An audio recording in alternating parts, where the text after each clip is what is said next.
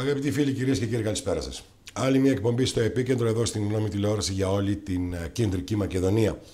Με την ενέργεια, κυρίες και κύριοι, α, τα όσα συμβαίνουν βέβαια με την κρίση στην ενέργεια, να το πω έτσι, τις ανανεώσιμες πηγές ενέργειας, κάτι που είναι πάρα πολύ βασικό όχι μόνο για την χώρα μας, αλλά και για όλο τον πλανήτη πλέον, όπως γίνονται τα πράγματα και τα οποία γνωρίζουμε, αλλά και τα άλλα θέματα που απασχολούν την πρωτεύουσα της Μακεδονίας, τη Θεσσαλονίκη δηλαδή. Αυτά λοιπόν και πολλά άλλα, τα οποία θα δείτε σε λίγο, θα συζητήσουμε σήμερα με έναν εκλεκτό καλεσμένο που είναι σήμερα απέναντί μου εδώ α, στο στούντιο και φυσικά ενώπιόν σας μέσω των τηλεοπτικών ε, α, συσκευών. Είναι ο κύριος ε, Μάριος Δράμαλης. Ο κύριος Δράμαλης είναι μηχανολόγος μηχανικός και συντονιστής ανανεώσιμων πηγών ενέργειας της Γραμματείας Παραγωγικών Τομέων της Νέας Δημοκρατίας. Έτσι, έχετε και μεγάλο τίτλο εδώ, κύριε Δράμαλη. Καλησπέρα, κύριε Παπαδόπουλο, σε εσάς και στους Κύριε Δράμαλη, καταρχάς θέλω να σας ευχαριστήσω πάρα πολύ για την ευγένεια που είχατε και ήρθατε σήμερα και τρώτε το χρόνο σας εδώ. Εγώ σας ευχαριστώ για την πρόσκληση. Αλλά πιστεύω, αλλά πιστεύω ότι θα πούμε αρκετά και σημαντικά πράγματα. Είστε ένας άνθρωπος που ασχολείται με την ενέργεια. Ε, Δυστυχώς αυτή την περίοδο, αξιότιμη κύριε Δράμαλη, έχουμε ενεργειακή κρίση. Και όλα αυτά βέβαια, ήμασταν που ήμασταν λίγο χάλια, ήρθε και μία εισβολή, γιατί περί εισβολής πρόκειται, τουλάχιστον αυτό πιστεύω, μπορείτε να διαφωνήσετε για όνομα του Θεού, μία εισβολή των Ρώσων και του κυρίου Πούτιν τέλος πάντων, για προσωπικό του βίτσιο δεν ξέρω για ποιο λόγο, στην Ουκρανία. Και όλα μας πήγανε πίσω με μια βενζίνη που κοντεύει να φτάσει στα 3 ευρώ, μακάρι να μην φτάσει ποτέ, με το αέριο στα ύψη, με το ρεύμα Μάλλον έχετε επιχειρήσεις, ε, κύριε Δράμαν, γιατί είστε και επιχειρηματία είναι των άλλων και σίγουρα το κόστος ανέβηκε. Πώς βλέπετε αυτή την κατάσταση, πρώτον, θα μπορέσετε να αντέξετε εσείς ως επιχειρηματίες και όσοι σας βλέπουν τώρα. Και δεύτερον, με την εμπειρία που έχετε και με τις συζητήσεις που κάνετε, γιατί είστε μέλος ενός κόμματος της κυβερνήσεως. Θα πάνε τα πράγματα λίγο καλύτερα ή να κάνουμε το σταυρό μας όπως οι Γερμανοί; Αρχίστε όπως θέλετε. Καταρχάς, ε, δεχόμαστε ότι υπάρχει ενεργειακή κρίση. Το έχει πει και ο Πρωθυπουργός ξεκάθαρα. Το έχει πει και ο Υπουργός Περιβάλλοντος και Ενέργειας, ο κ. Κρέκας. Άρα, σαφέστατα υπάρχει ενεργειακή κρίση όχι μόνο στην Ελλάδα, παγκοσμίως. Αυτό οφείλεται σε διάφορους παράγοντες και ήρθε να το επιδεινώσει και ο πόλεμος. Εγώ δεν μιλήσω για εισβολή, μιλήσω για πόλεμο απευθείας. Χρησιμοποιήσω αυτή την έκφραση που έκανε η Ρωσία προς το φίλο Ουκρανικό λαό. Και τον οποίο εύχομαι πολύ σύντομα να τελειώσει γιατί πρόσφατα συναντήθηκα και με τον Ουκρανό πρόξενο ως αντιπρόεδρος του Συνδέσμου Περιφερειακών Επιχειρηματιών Θεσσαλονίκης. Mm Συναντηθήκαμε και μας είπε την κατάσταση που επικρατεί στις πόλεις της Ουκρανίας, ε, την τραγική κατάσταση, εκτός από τους Εκτός από τα θύματα και τους, τους νεκρούς και, νεκρούς τώρα, και, και παιδιά, και δηλαδή η κατάσταση εκεί είναι τραγική, μας τη μετέφερε ο, Ουκρανός πρόξενος και μάλιστα ήδη έχουμε κάνει ενέργειες, έχουμε στείλει ιατροφαρμακευτική περίθραψη ως mm. Πανελλήνια Ομοσπονδία Επιχειρηματιών Θεσσαλονίκης και, και, και με άλλους συνδέσμους, με πάση περιπτώσει και, και φορείς έχουμε προσπαθήσει να συνδράμουμε. Αλλά, ε, τι μιλήσεις, τι σας είπε το, ο πρόξενος, το αποτέλεσμα, κατάσταση που επικρατεί. Ο πρόξενος μας είπε ότι η κατάσταση είναι τραγική, ότι οι υποδομές έχουν διαλυθεί, ε, ότι ο κόσμος βρίσκεται σε μια κατάσταση η οποία δεν ξέρει τι, τι του ξημερώνει, γιατί δεν γνωρίζουν τις εξελίξεις, πώς θα πάει. Ήδη ο, ο πόλεμος έχει μήνες που επικρατεί εκεί. Ε, τους βλέπουν και ήδη πρώτης ανάγκης πλέον και ζητάνε τη βοήθειά μας. Εμείς ως ελληνικός λαός βεβαίως με τις δυνάμεις του καθενός και το συνδέσμο και η ελληνική κυβέρνηση προσπαθούμε να βοηθήσουμε. Αλλά για να το κλείσω, ε, η, η κατάσταση αυτή και ο πόλεμος ε, έφερε ένα κικαιώνα ενεργειακών εξελίξεων με αποτέλεσμα να υπάρχει πρόβλημα και στην επάρκεια του εφοδιασμού, στα ενεργειακά, αλλά και στις τιμές, στις ανατιμήσεις που υπάρχει και στο φυσικό αέριο και στο πετρέλαιο και στη βενζίνη που όλοι βιώνουμε, όλοι μας, ανεξαρτήτως θέσης και επίπεδου κοινωνικού και οικονομικού. Όλοι είδαμε τις τελευταίες ανατιμήσεις τώρα το πώς θα αντιμετωπίζουμε όλα αυτά και ποιο είναι το σχέδιο της κυβέρνησης. Ήδη από το Σεπτέμβριο του 2021 η κυβέρνηση εγκαίρως, mm. από την αρχή του πολέμου, ε, δημιούργησε το Ταμείο Ενεργειακής Μετάβασης. Το Ταμείο Ενεργειακής Μετάβασης ε, δημιουργήθηκε ακριβώς για να επιδοτήσει τους λογαριασμούς ηλεκτρικής ενέργειας και φυσικού αερίου και σε νοικοκυριά και σε επιχειρήσεις και ως το πρώτο εξάμεινο του 2022 για τη στήριξη των οικοκυριών και των επιχειρήσεων των λοιπόν κύριε Παπαδόπουλο έχουν ε, ξοδευτεί και έχουν δοθεί χρήματα που αναλογούν σε 6,8 δις. Άρα η πρώτη ενέργεια που έκανε η κυβέρνηση ήταν αυτή ε, και θεωρώ ότι σε κάποιο βαθμό, όχι σε πλήρη βαθμό βεβαίως, έχει βοηθηθεί και έχει επιδοτηθεί το, ο λογαριασμός μας έρχεται στο σπίτι. Βέβαια, δεν αρκεί σας προλαβαίνω, σας προλαβαίνω. Για να μου πείτε ότι ο κόσμος, κάποιος κόσμος έχει αγανακτήσει, είναι θυμωμένος, το δέχομαι. Το ζω, είμαι άνθρωπος της πόλης, ξέρετε. Δεν είμαι κλεισμένος σε κάποιο υπουργείο, κυκλοφορώ στη Θεσσαλονίκη, στους δρόμους. Ε, πηγαίνω στα πρατήρια, βάζω και εγώ βενζίνη και εγώ κοιτάω το λογαριασμό να μου έρχεται.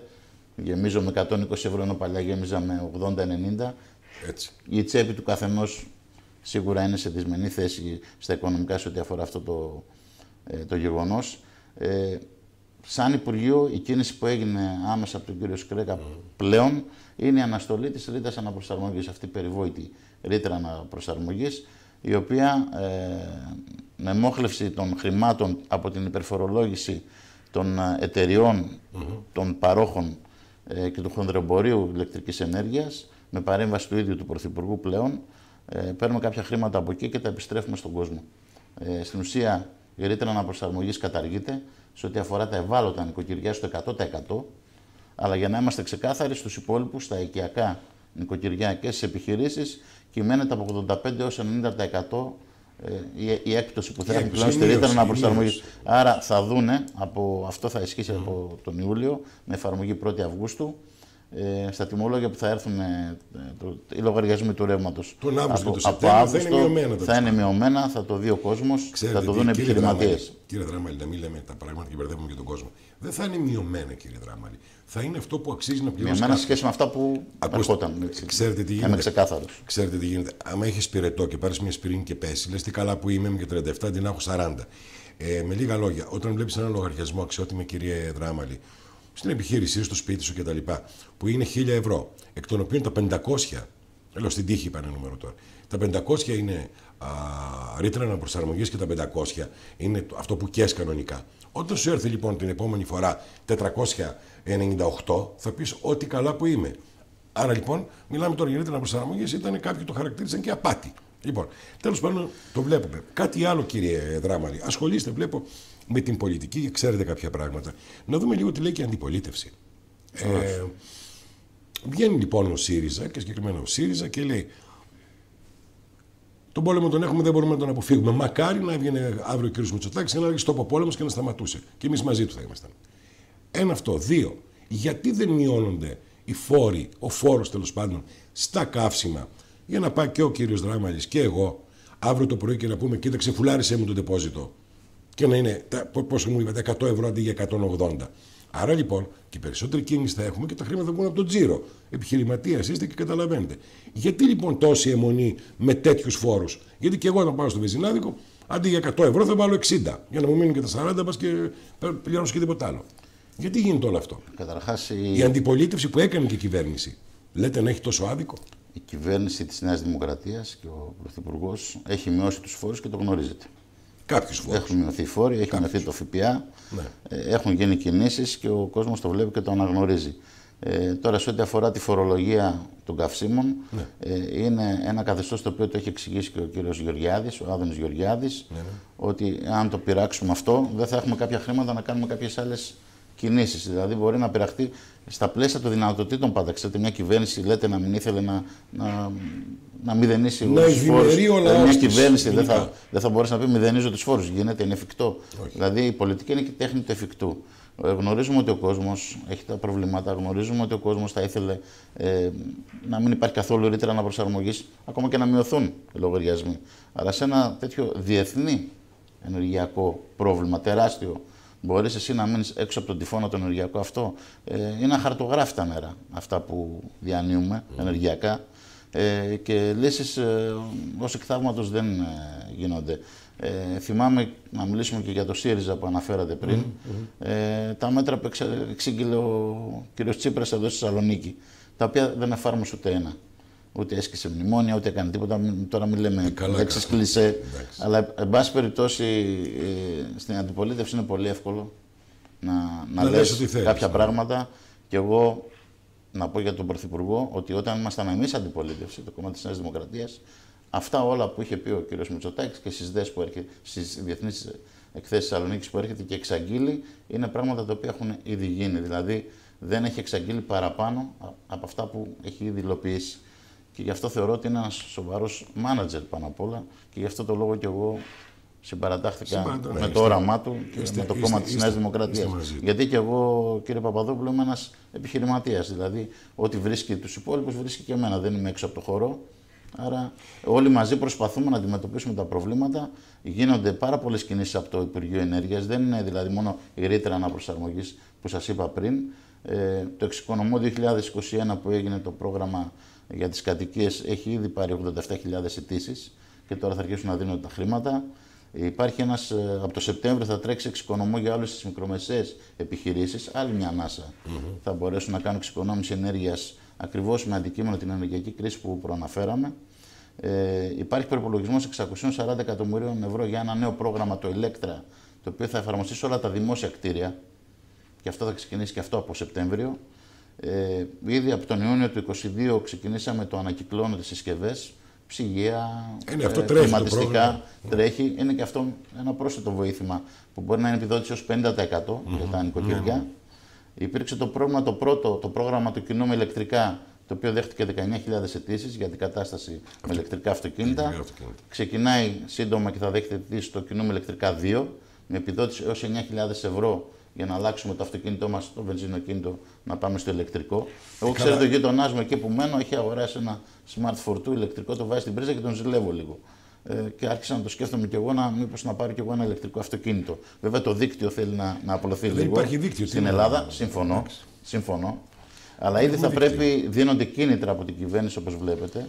Όλες αυτές οι ενέργειες αποσκοπούν σε τι, στην ενεργειακή απεξάρτηση από το φυσικό αέριο, σωστά, σωστά. από το πετρέλαιο. Είναι mm. κινήσεις που. Πάμε τώρα στην ενέργεια. Πάμε στην ενέργεια. Σας βλέπω αρκετά καταρτισμένο, κύριε Δράμα. Είναι και δουλειά σας τώρα. Μπούμε στα δικά σας χωράφια. Κάναμε αμάν και πώς να ξεφύγουμε από το λιγνίτη, ο οποίος ήταν καρκινογόνος, ο οποίος μόλι το περιβάλλον, δεν το συζητάμε, απόλυτο δίκαιο ε, να απαγκλωβιστούμε κτλ.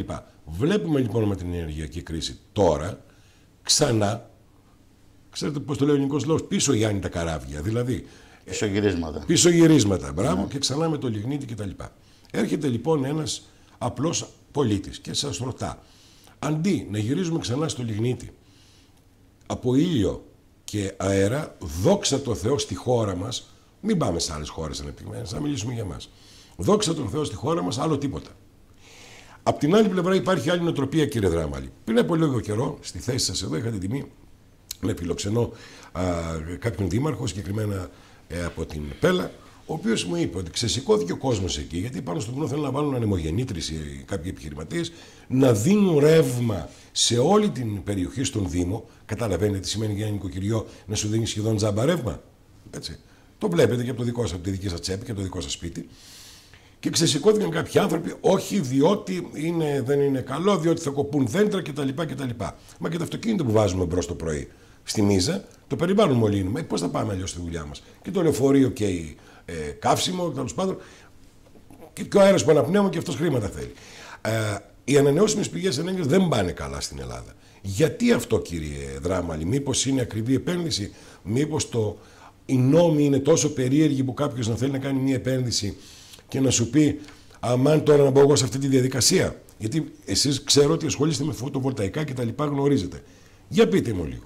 Γιατί γίνεται όλο αυτό; Καταρχάς, να πάω στο πρώτο σκέλο τη ερώτησή σας. Όπως θέλετε. Σε ό,τι αφορά το πισωγύρισμα που λέγατε για τις λιγνητικές μονάδες. Ναι, ναι. Ε, ξέρετε, Θα μου πείτε από το ζόρι μας. Εγώ, αυτό. σαν επιχειρηματίας ε, τον ΑΠΕ, έχω μια εταιρεία μελετητική κατασκευαστική. Ε, έχω ξεκινήσει όλη την αδειοδοτική διαδικασία για κάποια έργα στη Φλόρινα και αναγκαστικά με το αυτοκίνητό μου πάντα περνάω και από την Κοζάνη και από τη Φλόρνα, από το Λεμαίδα και, και βλέπω τα φουγάρα. Τα φουγάρα. Τα βλέπω, φουγάρα. Είναι επίσης οι περιοχές αυτές, η περιφέρεια της Δυτικής Μακεδονίας, πρώτη σε καρκίνους και θανάτους από καρκίνο. Γιατί άραγε. Ναι, ναι, ναι. Γιατί άραγε από τα φουγάρα. Και... Άρα, ε, και από τα φουγάρα. Ε, αισθανόμουν και αισθάνομαι υπερήφανο που συμβάλλω και εγώ με αυτά τα έργα και όλοι οι επιχειρηματίες και οι επενδυτές ε, και ο απλός κόσμος που έβαλε τα οικιακά και κτηριακά φωτοβολταϊκά στο, στο σπίτι του και στη στέγη του, συμβάλλουμε σε αυτό που λέγεται πράσινη μετάβαση και δίκαιη πράσινη μετάβαση για αυτές τις περιοχές, της ε, απολιγνητοποίησης στη Δυτική Μακεδονία. Ε, τώρα, σε ό,τι αφορά το Υπουργείο, ήρθε καυτή πατάτα. Ποια είναι καυτή πατάτα, κλείνουμε το φυσικό αέριο.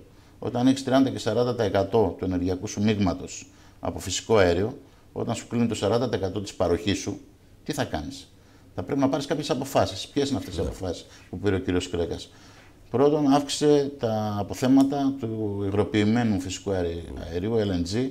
Πήραμε μια πλωτή δεξαμενή στη Ρεφηθούσα και διπλασιάσαμε τον όγκο που μπορούμε να. Μια αποθήκη πλωτή τέλος πάντων. Να, να έχουμε την αποθήκευση του, του LNG. Μια κίνηση είναι αυτή. Δεύτερη, έχουμε ένα χειμώνα μπροστά μας. Πρέπει να ξεχειμονιάσουμε που λέει ο λαός. Να βρούμε λύσεις. Ποιες είναι οι λύσεις; Ναι. Θα συνεχίσουν δυστυχώς να πω εγώ, αναγκαστικά επίσης, να χρησιμοποιήσω και αυτή τη λέξη, οι λιγνητικές μονάδες ε, θα γίνει και νέα λιγνητική μονάδα η οποία θα λειτουργήσει. Για ποιο διάστημα, για όσο διάστημα υπάρχουν αυτές οι έκτακτες καταστάσεις. Στις έκτακτες καταστάσεις, κύριε Παπαδόπουλο, τι λαμβάνονται έκτακτα μέτρα. Ο πρώτος υπουργός, ο κύριος Κρέκας, θέλει να υπάρξει η αλλαγή του καθεστώτος των λιγνητικών μονάδων. Είχαμε εξαγγείλει την απολιγνητοποίηση για τη Δυτική Μακεδονία, μέτρα στήριξη των τοπικών κοινωνιών που φύγονται, γιατί πολλοί δουλεύανε στη ΔΕΗ, ήταν και καλοπληρωμένοι, ναι, ήταν ναι, και υψηλόμιστοι και στην Κοζάνη και το ξέρουμε το πρόβλημα, το γνωρίζουμε. Το λέμε, είδα και τα λοιπά. Η περιοχή ευρύτερα εκεί. Οι, οι περιοχές εκεί ζούσαν από τη ΔΕΗ. Αυτή είναι η αλήθεια. Ζούσαν τα ψέματα. Και προσπαθήσαμε. Και δεκάδες άλλοι εργολάβοι που δούλευαν. Και όλοι, όλοι οι υπόλοιποι εργολάβοι και οι υπόλοιπες δουλειές οι οποίες ήταν ε, παρεμφερεί με, τα, ακριβώς με, με όλες τις δραστηριότητες που είχαν να κάνουν με την ανάπτυξη ναι. της ΔΕΗ στην περιοχή και τις ελληνικέ μονάδες. Άρα, εμείς πρώτοι θέλαμε να σιγά σιγά να κλείσουν και είχε εξαγγείλει ο Πρωθυπουργός ότι έως το 2028 θα κλείσουν οι λιγνητικέ μονάδες. Ναι, και ήθελε να το κάνει και πράξη. Τώρα όμως ήρθε αυτό. Δεν το περιμέναμε από, από κάπου τον πόλεμο. αυτό. δεν περιμέναμε ότι τώρα ξεκίνησε ο Πούτιν να κάνει τη συντήρηση του αγού Nord Stream 1 για 10 ημέρες. Γνωρίζετε εσείς ή κανείς άλλος αν θα την ξανανοίξει τρόφιγγα. Όχι, μόνο Όχι. Τι πρέπει να κάνει η κυβέρνηση, Πρέπει να περιμένουμε τον κύριο Πούτιν τι θα αποφασίσει, αν θα ανοίξει τη στρόφιγγα ή όχι, ή να πάρει όλα τα αναγκαία μέτρα, ώστε ο κόσμος το χειμώνα να έχει ηλεκτρικό. Το φρονίμο έχει... τα παιδιά, επειδή χρησιμοποιήσαμε κάποιες εκφράσεις, έτσι γίνεται. Άρα αναγκαστικά ε, δεν κάνουμε πισωγυρίσματα, αναγκαστικά αξιοποιούμε έτσι. αυτή τη στιγμή όλα τα εργαλεία του ενεργειακού μείγματος που μπορούν να εξασφαλίσουν απρόσκοπτη συνέχιση της ροή ενέργειας στη χώρα. Να λειτουργούν και οι επιχειρηματίες και τα εργοστάσια ε, και ο βιομηχανικός ιστός της χώρας. Έρχομαι στο δεύτερο σκέλος ε, που αναφέρατε, στο ότι μήπως οι ΑΠΕ δεν πηγαίνουν καλά στη χώρα. Και θα σας διαψεύσω. Παρακαλώ. Θα σας πω ότι και, και επειδή είμαι και τεχνοκράτης, επειδή είμαι μηχανικός θετικών επιστημών, μου αρέσουν και τα νούμερα. Ε, το 2018 ε, είχαμε 250 ΜΒ ανανεώσιμων πηγών ενέργειας. Το νούμερο αυτή τη στιγμή που θα κλείσει το 2022 συνδεδεμένα στο δίκτυο θα είναι 1740 ΜΒ. 250 ΜΒ το 18, mm 1740 ΜΒ το 2022 σε τρία χρόνια. Το 19 που μπήκαμε κυβέρνηση και εντός του 22 Για δεν έχει τελειώσει ακόμα πολίτες που δεν τα γνωρίζουμε. Είναι, είναι πενταπλάσια. Είναι, είναι, καλό αυτό δηλαδή; Εσείς τι λέτε; Το μείγμα Για το την ενεργειακό... Ελλάδα είναι. Α πούμε στη Γερμανία πόσο τη εκατό επάνω έχουν, ας πούμε, λέω, μια άλλη ευρωπαϊκή Εγώ θα σας μιλήσω για την Ελλάδα. Στο τέλος του 2022, ναι. στο ενεργειακό μείγμα της χώρας θα υπερβεί το 50% από χρήση ΑΠΕ και είναι ο στόχος έως το 2030 το 70% του ενεργειακού μέγματο της χώρας να προέρχεται από ανανεώσιμες πηγές ενέργειας. Αυτό είναι το σχέδιο. Σας μίλησα με νούμερα, με αποτελέσματα. Δεν το αφισβητώ, φυσικά. Χαίρομαι που δεν τα αφισβητείτε, γιατί ε, σας διαψεύδω βέβαια ότι δεν πάνε καλά οι ΑΠΕ στην Ελλάδα. Mm. Πηγαίνουν πάρα πολύ καλά οι ΑΠΕ στην Ελλάδα. Μάλιστα, ο ΑΔΜΕ και ο ΔΔΕ κλείνουν τη στρόφικα των αιτήσεων, γιατί δεν μπορούν να δεχτούν άλλες αιτήσεις. Έχει υπερκαλυφθεί ο στόχος που έχουμε θέσει έως το 2030. Mm. Υπάρχει τεράστιο επενδυτικό ενδιαφέρον.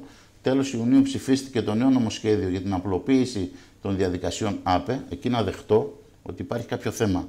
Ποιο θέμα, ότι μια άδεια ΑΠΕ μέχρι να οριμάσει, από τη στιγμή που καταθέτει στο ΔΔΕ ή στον ΑΔΜΕ, για ομαδοποιημένα αιτήματα, υπάρχει μια καθυστέρηση η οποία μπορεί να είναι και ετών. Το δέχομαι, το βιώνω.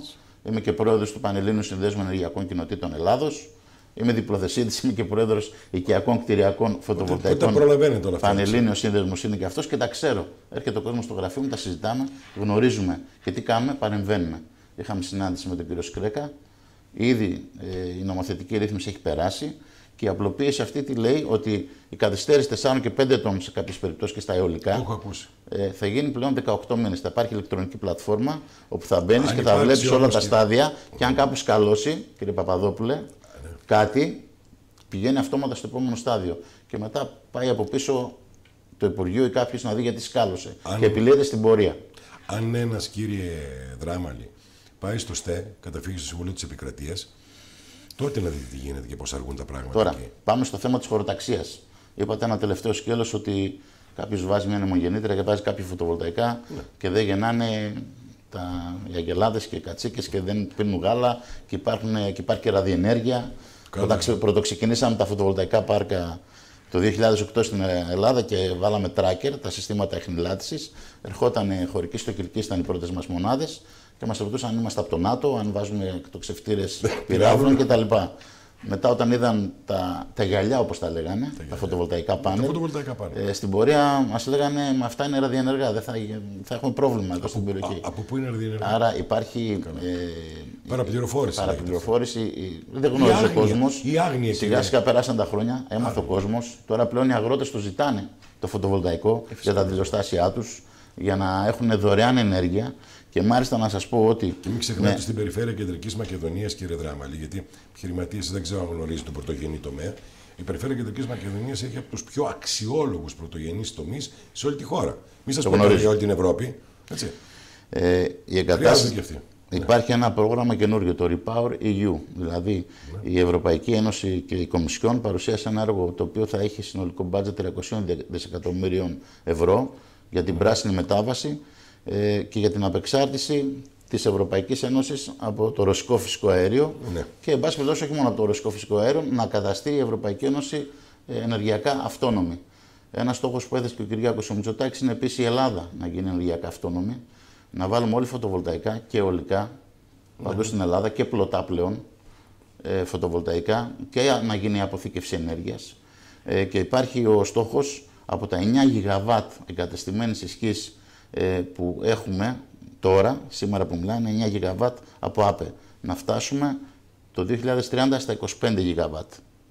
Άρα εκεί να μιλάμε για, για, για, σχεδόν απεξάρτησή μας εντελώς από κάθε άλλη μορφή ενέργειας, να είναι η πράσινη ενέργεια αυτή που θα κυριαρχήσει, τα φωτοβολταϊκά, οι ανεμογεννήτριες και με το πρόγραμμα το οποίο θα ανακοινωθεί μέχρι τέλος του έτους, γιατί συζητήσαμε και με την κυρία Ζδούκου, την Υφυπουργό και με τον ίδιο τον Υπουργό, μας ανακοίνωσε θα βγει ένα πρόγραμμα και αυτό είναι μεγάλη είδηση για τους τηλεθεατές σας και στα οικιακά, ε, στις οικιακές χρήσεις και στις επιχειρηματικές, σε βιομηχανίες, σε εργοστάσια, σε ξενοδοχεία.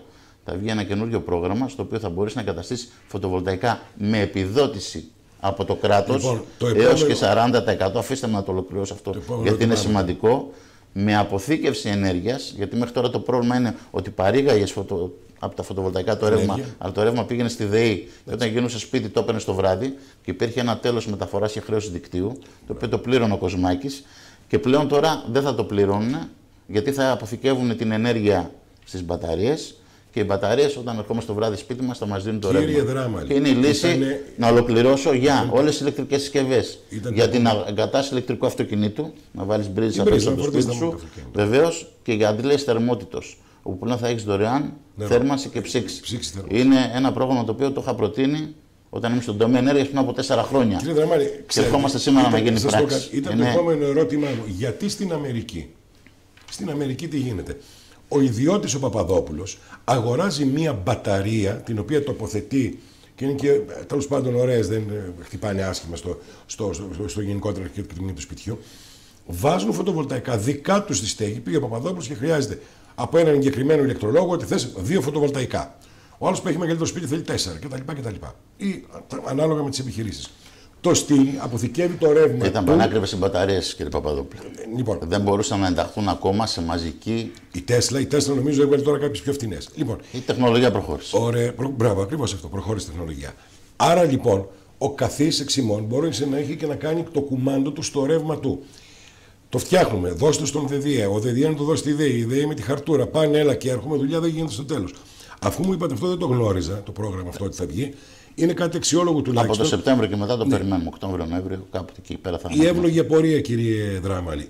η ΔΕΗ, ο ΔΕΔΙΕ τέλος πάντων, θα μπερδευτεί με αυτό ή ο Παπαδόπουλος και ο Δράμα θα αγοράζουν και θα είναι δικό τους και θα κάνουν δουλειά τους με την πατέρα. Για να μην τα παρουσιάζουμε όλα ωρεοποιημένα, επειδή οι τηλεθεατές και όσοι ασχολούνται με, ναι.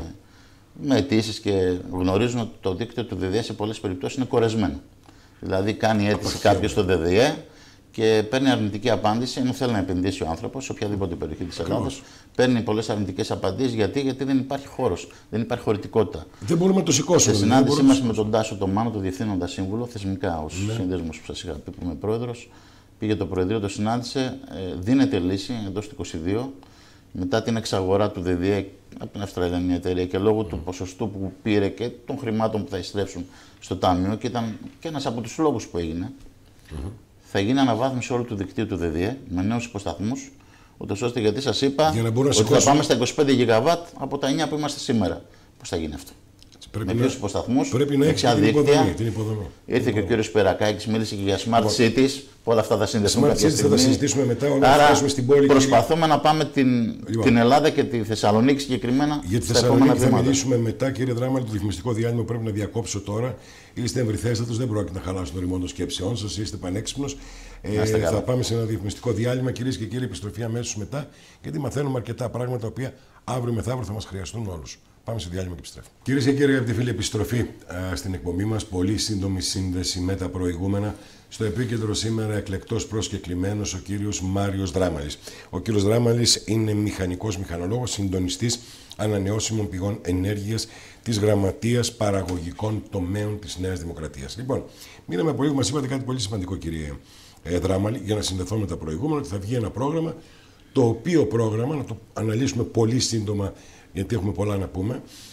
Ο Γιώργος Παπαδόπουλος αύριο πηγαίνει, α, αγοράζει τις μπαταρίες με κάποια επιδότηση που θα δοθεί, τις τοποθετεί σπίτι του, έρχεται ο εξειδικευμένος άνθρωπος, βάζει τα πάνελ, τα ηλιακά, ε, αφού δει τις ανάγκες που χρειάζεται η επιχείρηση, το σπίτι, να το λέμε σπίτι, ας πούμε. Έτσι ακριβώς. Λοιπόν, και από εκεί και μετά τελειώνει με την ΔΕΗ, δεν θα έχει το λογαριασμό, δεν θα έρχεται η, η ρήτρα προσαρμογής, δεν είναι το ένα το άλλο. Για να τα βάλουμε τα πράγματα σε μια Παρακαλώ. σειρά. Πρώτον, Παίρνουμε τους λογαριασμούς ρεύματος. Ο Γιώργος Παπαδόπουλος τι καταναλώνει στο σπίτι του; 5.000 κιλοβατόρες ετησίως. Ναι. Γίνεται μια μελέτη από τις εταιρείες φωτοβολταϊκών.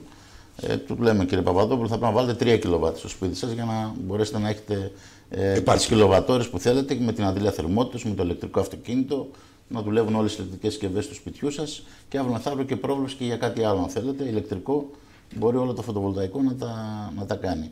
Θα υπάρξει η αίτηση που θα γίνεται το πρόγραμμα δεν έχει ανακοινωθεί. Δεν ξέρω αν θα είναι τελικά στο ΔΔΕ ή θα δημιουργηθεί κάτι καινούριο. Φαντάζομαι θα είναι μια της προς το ΔΔΕ, ε, γιατί θα είναι ενεργειακός συμψηφισμό. Τι σημαίνει αυτό, Ό,τι παράγει το φωτοβολταϊκό σας σε σχέση με αυτό που καταναλώνετε, θα γίνεται στο τέλος του χρόνου ένας συμψηφισμό. Δεν θα πληρώνετε εν ολίγη στη ΔΕΗ.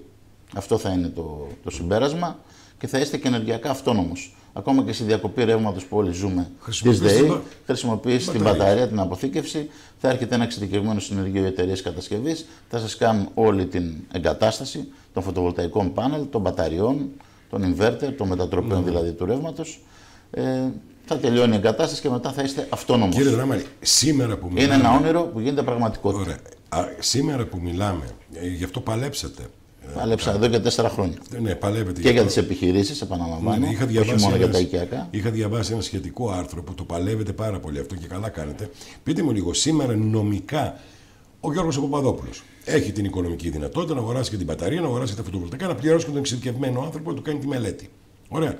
Μπορώ χωρίς να έχω πρόβλημα με τον νόμο, επαναλαμβάνω, να πάω σπίτι μου και να το κάνω εντελώς αυτό; Μπορείτε, υπάρχει ενεργειακός συμψηφισμός. Δεν θέλω ρεύμα. Ισχύει. Ισχύει και Πάτε τώρα. Απλά δεν υπάρχει... Κόψτε μου το ρεύμα, δεν με νοιάζει. Αυτή τη στιγμή δεν υπάρχει επιδότηση. Αφι... Αυτό σα είπα. Άλλο το αυτόνομο, υπάρχει το αυτόνομο. Αφήστε την επιδότηση. Δηλαδή. Ναι. Έχω την οικονομική δυνατότητα να το κάνω. Νομικά καλύπτομαι. Θα πρέπει να έχετε σύνδεση με τη ΔΕΗ, δεν γίνεται. Ε, είδατε αυτό σας Θα πρέπει να έχετε σύνδεση με τη ΔΕΗ. Το αντίθετο που Τώρα λύνεται αυτό το ζήτημα. Λύνεται αυτό το ζήτημα. Τίποτα, ε, Τώρα εδώ είμαστε στην Ελλάδα. Να προσγειωθούμε ξανά στην Ελλάδα. Και να πούμε ότι αυτό το πρόγραμμα, ναι. το πολύ καλό το οποίο Χαίρομαι που διαβάσετε το άρθρο. Ναι, ναι. Ε, εγώ το παλεύετε καιρό αυτό. Για εγώ μπήκα πριν από τέσσερα χρόνια στον τομέα ενέργειας. Ναι. Μια πρότασή μου ήταν αυτή: να γίνουν ενεργειακά αυτόνομα οι ελληνικές κατοικίες, οι επιχειρήσεις, τα ξενοδοχεία μας, όπου υπάρχει κτίριο, τα δημόσια κτίρια. Ε, ξέρετε, κάνω και μια επαφή τώρα με όλους τους ε, δημάρχους στην Α Θεσσαλονίκης. Συναντήθηκα με τον κύριο Ζέρβα, τον Κωνσταντίνο. Θα κάνουμε και μια εκδήλωση για όλα αυτά που συζητήσαμε και μαζί σήμερα. Συναντήθηκα με τον κύριο Δαρδαμανέλη, τον Γιάννη τον Δήμαρχο Καραμαριά, με τον κύριο Μανδαλιανό, τον Δήμαρχο Κορδελιού Ευόσμου. Θα συναντηθώ και με όλους τους υπόλοιπους, με τον Λάζαρο τον Κυρίζογλου και τους υπόλοιπου της Α Θεσσαλονίκης τους δημάρχους και θα κάνουμε μια σειρά εκδηλώσεων ακριβώς για να ενημερώσουμε τον κόσμο ποιες είναι οι ενέργειες της κυβέρνησης για να επιληθεί το πρόβλημα της ενεργειακής κρίσης και ποια είναι τι μπορεί να κάνει ο πολίτης και επιχειρηματία από εδώ και πέρα για να μπορέσουμε όλοι μαζί να δημιουργήσουμε αυτό το ενεργειακό μείγμα να απαλλαγούμε από το φυσικό αέριο και το πετρέλαιο. Δεν μου λέτε κύριε Δράμαλη να πάμε λίγο στα δικά μας εδώ της Θεσσαλονίκης, της Μακεδονίας γενικότερα. Αλλά πιο πολύ στη Θεσσαλονίκης γιατί είναι το αστικό μας κέντρο, η πρωτεύουσά μας. Πιστεύετε ότι η πόλη της Θεσσαλονίκης ε, είναι συνειδητοποιημένοι. Καταλαβαίνετε τώρα, οι φορείς, οι κάτοικοι κτλ. Το λέω Θεσσαλονίκη ευρύτερα, είναι συνειδητοποιημένοι οικολογικά και ότι πρέπει κάποια στιγμή να σταματήσουμε να ξοδεύουμε ρεύμα ή να καίμε λιγνίτες ή. ή, ή. Μπορούν να το καταλάβουν αυτό ότι παιδιά κάποια στιγμή θα δουλεύουν όλα με φωτοβολταϊκά πάνελ ή με ανεμογεννήτριες ή οτιδήποτε. Κυρίως η νεολαία, κύριε Παπαδόπουλο, το έχει καταλάβει. Ε, μιλάμε φοιτητές. Mm. Ε, ακόμα και στο σχολείο, ακόμα και ο γιος μου που είναι 10 ετών, ε, έρχεται και, και, μου κάνει ερωτήσεις και μου λέει να κλείσουμε το φως.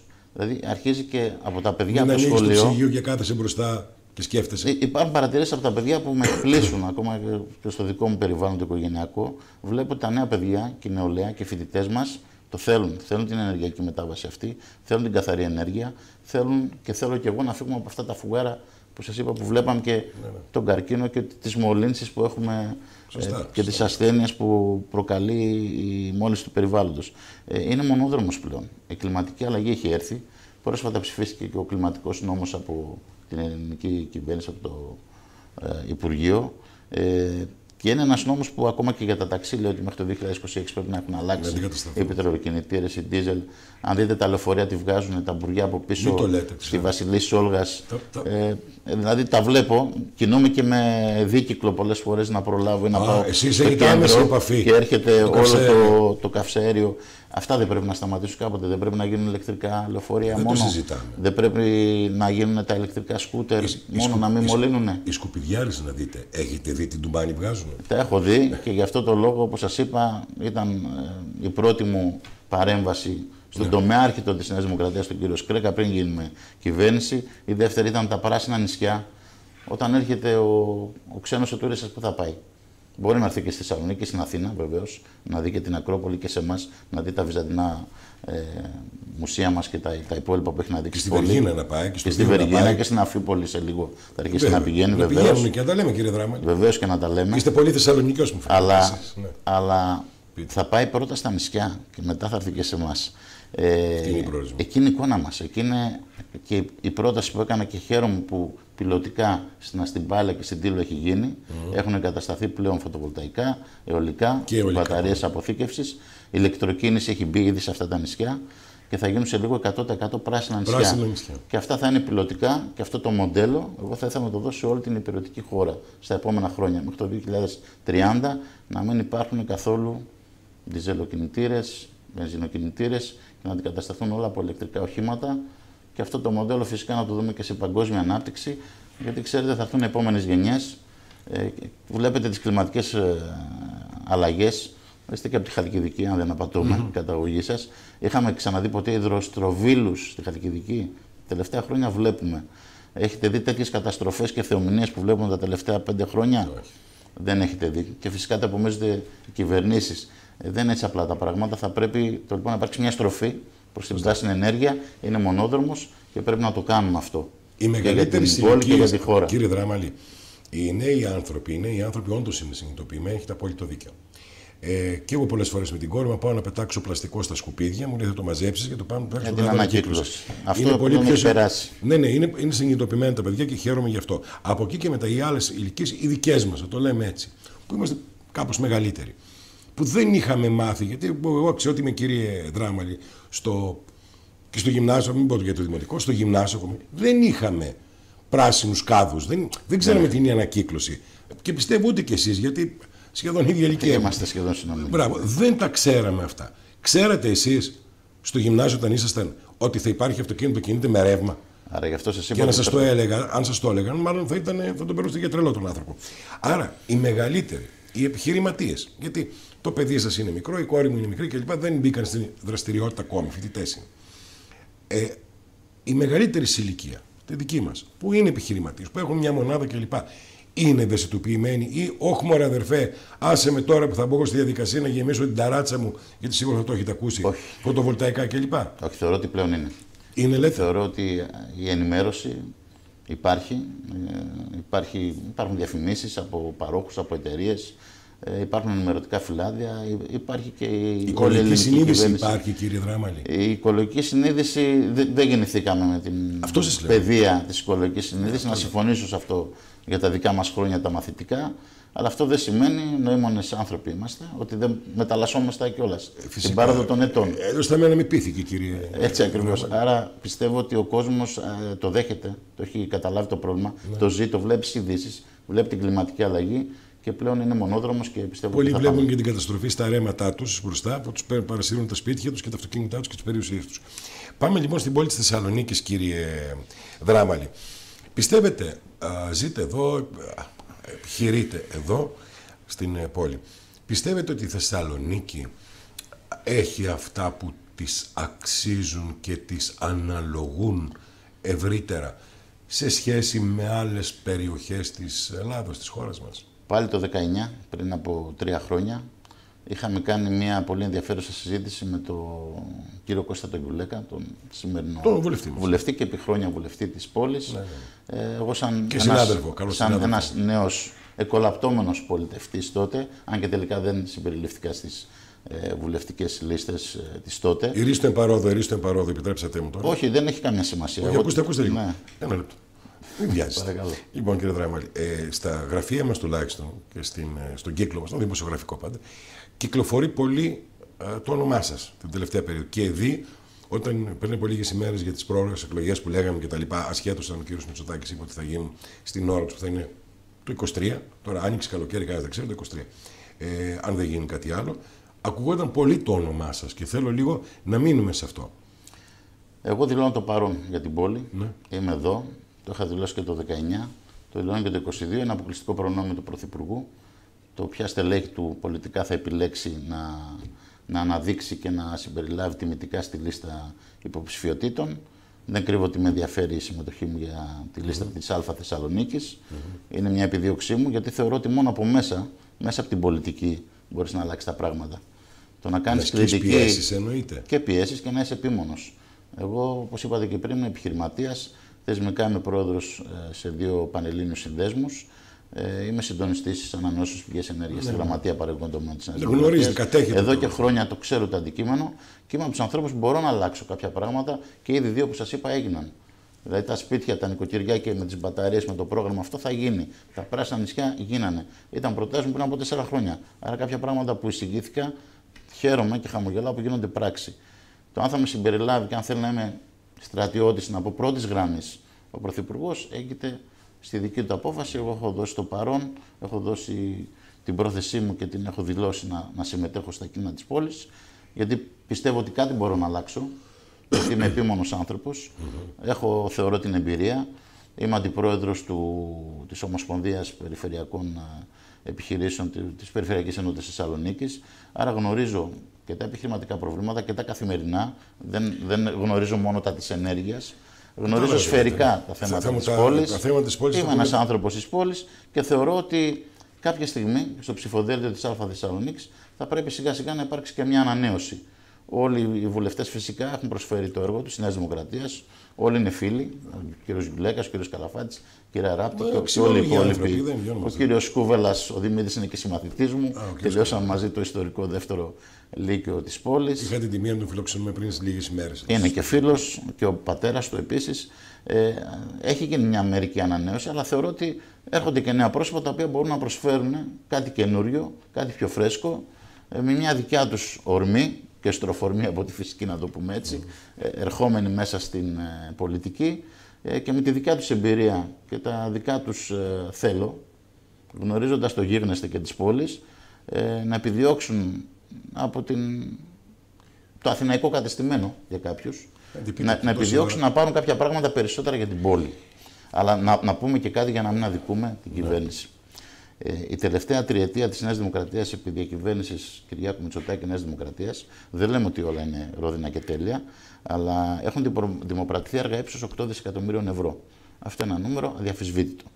Ε, υπάρχουν τα 10 συν 1 έργα τα οποία πρόσφατα ο Γιώργος Καραγιάννης, ο Υπουργό, ο οποίος είναι και Θεσσαλονικό, παρουσίασε.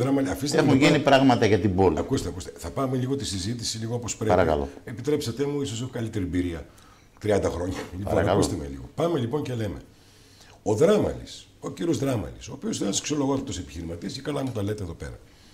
Αν αύριο μεθαύριο είστε σε ένα ψηφοδέλτιο της Νέας Δημοκρατίας, όποτε και γίνουν εκλογές, θα μην μπούμε στη διαδικασία γιατί και πώς.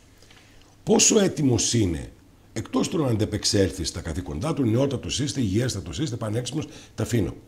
Αν λοιπόν έρθει αύριο ο Πρωθυπουργός, ο, ο Πρωθυπουργός, ένας μεγάλος τέλεχος της κυβέρνησης, ενώ εσείς θα φωνάζετε για ένα θέμα της πόλεως της Θεσσαλονίκης, γιατί αυτή θα σας ψηφίσει.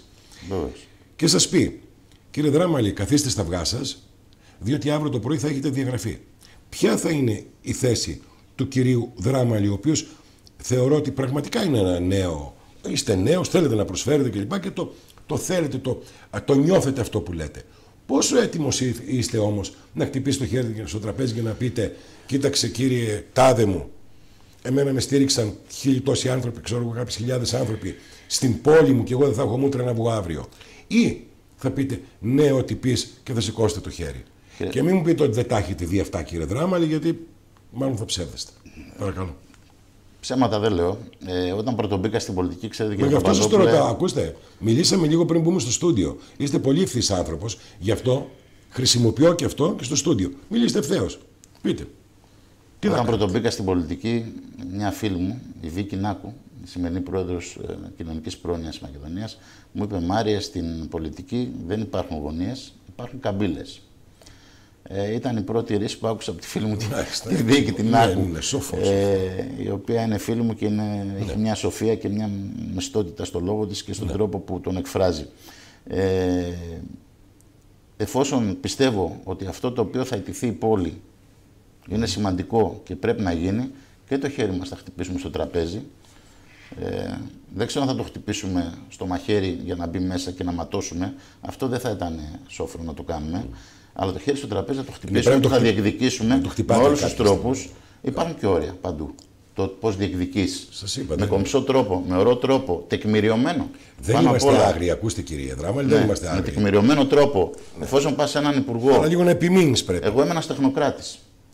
Όταν πάω να παρουσιάσω ένα project, είτε αφορά φωτοβολταϊκά είτε οτιδήποτε άλλο, έχουμε business plan, είναι τεκμηριωμένο, είναι πιασμένο από παντού νομικά, τεχνικά, τραπεζικά, οικονομικά, ότι θα μπορέσει να προχωρήσει το project και το προχωρούμε.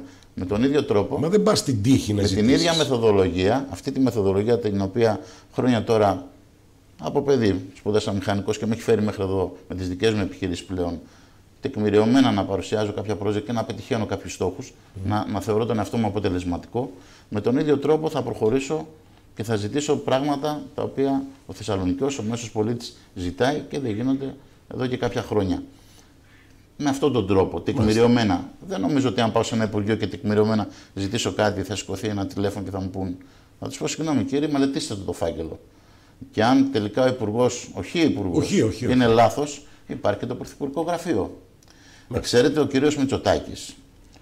Πολλοί μου λένε να μην μιλάς πολύ για το Μητσοτάκη, να μην στηρίζεις την κυβέρνηση της Νέας Δημοκρατίας, γιατί υπάρχουν και κάποιοι άλλοι που, αν πολιτευτείς, ε, μπορεί από κάποια άλλα κόμματα να σε ψηφίσουν και να, να είναι συμπαθείς προς το Μάρι το δράμα, αλλά όχι προς τη Νέα Δημοκρατία. Εγώ θα σας πω το εξής. Φυσικό είναι αυτό. Φυσικό να είναι. Συμπαθούν και κάποιοι άνθρωποι που δεν είναι τη Νέα Δημοκρατία. Φυσικό είναι και, και εδώ είμαι εγώ για την πόλη. Δεν είμαι για τον Νεοδημοκράτη, ούτε για τον Πασοξή, ούτε για τον Σιριζέο, ούτε για αυτόν που ψηφίζει ΚΚΕ.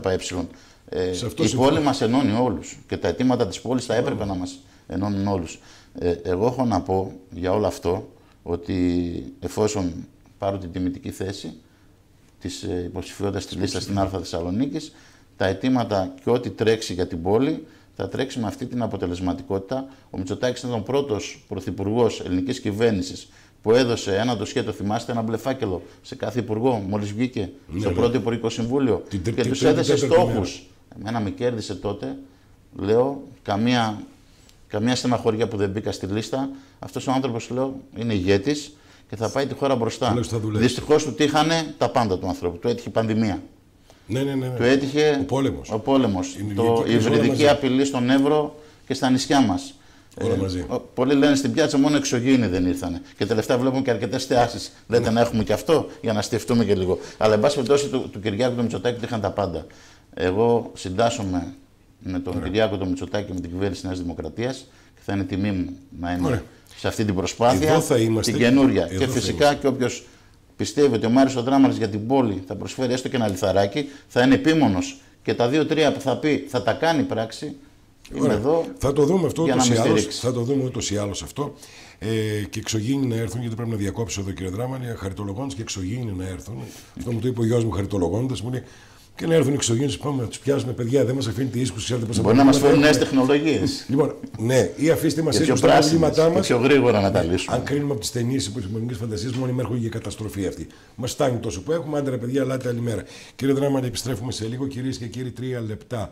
Ένα σύντομο διαφημιστικό διάλειμμα και αμέσως μετά εδώ στο τρίτο μέρος για την ολοκλήρωση και της σημερινής εκπομπής. Επιστροφή κυρίες και κύριοι στο τρίτο και τελευταίο μέρος της εκπομπής μας. Σύντομη σύνδεση με τα προηγούμενα για να ολοκληρώσουμε απόψινό εκλεκτός προσκεκλημένος ο κύριος Μάριος Δράμαλης. Ο κύριος Δράμαλης είναι μηχανολόγος, μηχανικός συντονιστής ανανεώσιμων πηγών ενέργειας και γραμματέας παραγωγικών τομέων της Νέας Δημοκρατίας. Είπαμε αρκετά πράγματα και πολύ ενδιαφέροντα, κύριε Δράμαλη, επειδή πρέπει να ολοκληρώσουμε. Τι πιστεύετε ως τεχνοκράτης και ως ένας τέλεχος ε, του κυβερνώντος κόμματος της Νέας Δημοκρατίας, τι πιστεύετε, ποια είναι τα βασικά που χρειάζεται αυτή τη στιγμή η πόλη της Θεσσαλονίκης. Ένα. Και δύο, όταν βγαίνετε έξω, ε, ενώ με τους απλούς πολίτες κλπ. Τι είναι αυτό που σας λένε, πρώτον οι φίλοι σας που σας λένε Μάριε ξέρεις ή κάποιοι που δεν σας ξέρουν, κύριε Δράμαλη ξέρεις. Τι είναι αυτό που αφουγκράζεστε από την τοπική κοινωνία; Η τοπική κοινωνία ε, και οι Θεσσαλονικοί ξέρουν ότι ζούμε στην πιο όμορφη πόλη της Ελλάδος. Αλλά σε, σε στενό κύκλο όλοι λένε ότι λείπει το χρήμα. Ναι. Ότι η Αθήνα κρατάει τα μεγάλα κεφάλαια. Τα, τα κεφάλαια, εκεί είναι τα υπουργεία. Ότι για να κάνεις τη δουλειά σου πρέπει να κατέβεις στην Αθήνα. Ένα Υπουργείο Μακεδονίας Τράκη είχαμε κύριε Δράμαλη και το κάναμε υφυπουργείο. Υποβαθμίστηκε. Δεν έπρεπε να γίνει. Θα δεχτώ σε μεγάλο βαθμό τι λένε οι φίλοι μου στο κλειστό κύκλο που συζητάμε. Ναι. Αυτό πώς μπορεί να αλλάξει; Καταρχάς, για να αλλάξει το προφίλ της πόλης πρέπει να γίνουν υποδομές. Σε παγκόσμιο επίπεδο και ευρωπαϊκό οι υποδομές μιας πόλης είναι αυτές που καθορίζουν την οικονομική της βιωσιμότητα και ανάπτυξη και επιτάχυνση οικονομική προς το μέλλον. Ήδη στη Θεσσαλονίκη ταξιδεύουμε όλοι στο αεροδρόμιο Μακεδονία, που το πήρε η Fraport με τον διαγωνισμό και τα περιφερειακά τα υπόλοιπα αεροδρόμια. Θεωρώ ότι όσοι ταξιδεύουμε έχουμε δει ότι πλέον έχουμε ένα πολύ σύγχρονο, σύγχρονο. ευρωπαϊκών προδιαγραφών αεροδρόμιο. Μικρό αλλά καλό. Κάποιοι γκρινιάζουν ότι υπάρχουν φυσούνες για να μπαίνουμε απευθείας. Α είναι αυτό το παράπτωμα της Fraport μπορεί να αλλάξει τα επόμενα χρόνια. Άρα ένα έργο που εξήγηλε ο Κυριάκος Μητσοτάκης έγινε. Το μετρό συναντήθηκα, είναι και φίλος μου ο Νίκος Οταχιάους, είναι ο πρόεδρος του ναι. Μετρό. Ε, το ρώτησα σε μια συνάντηση πρόσφατα. Νίκο, το 23 θα προλάβουμε, θα είμαστε ε, σε αυτά που είπαμε στο χρονοδιάγραμμα, στο χρονοδιάγραμμα μας μέσα. Μου είπε Μάρη το 23 η Θεσσαλονίκη θα έχει το μετρό. Όχι μουσαμάδες, θα έχει σειρμούς, θα έχει όλες τις τάσεις γιατί είχαμε και το περιβόητο πρόβλημα με τη Βενιζέλου. Ε, έχουν λυθεί όλα τα προβλήματα. Ωραία. Θα είναι το πρώτο αυτοματοποιημένο πλήρως μετρό στην πόλη.